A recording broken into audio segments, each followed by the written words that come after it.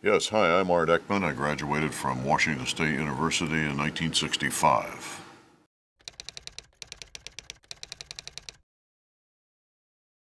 If somebody looked at Art Eckman on the bio sheet, they would have to say that he did over 20 different sports. Hello again, everyone. It is the Clemson Tigers take the field here in Clemson, South Carolina. I'm Art Eckman. As our 125 main event is underway. Joining me live now from the stadium, a guy who is young enough that he just might give Ryan's record a run one day. At least we hope so. Braves All-Star John Smoltz. Schmaltzy uh, will be in the Hall of Fame uh, this next uh, next time, and uh, he was always my my favorite as far as uh, athletic ability. Dick Fosbury, the Fosbury flop.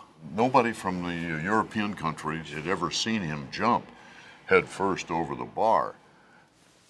I love this original print with Kenny Stabler. And of course here is some of the all-stars on the on that team. Al Michaels We did the Giants together. Second down and six for Georgia. I wasn't the greatest sports fan in the world, but I didn't care for being a news reporter. Sports uh, gave me the opportunity to travel. The start of the race and the early checkpoints are behind the mushers now. I think the jumping events in water skiing are probably the most intense. One of my favorite interviews was Mickey Mantle. You've played more games than any person has in a Yankee uniform.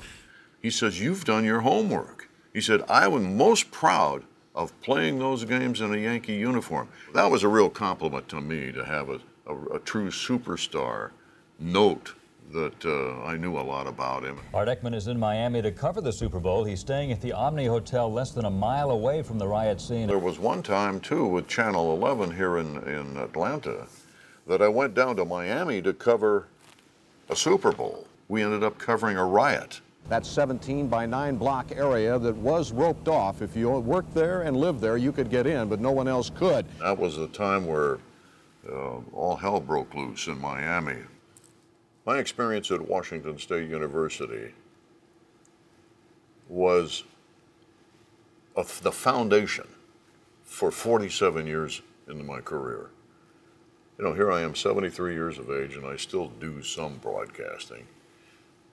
But who would have dreamed that uh, in a young person's job that I would last that long? There goes Jeremy with the challenge already. Oh, Zipping nice. through the whoops. Nice move. He, he... I don't know of another occupation that I would have enjoyed as much if I, I have enjoyed life.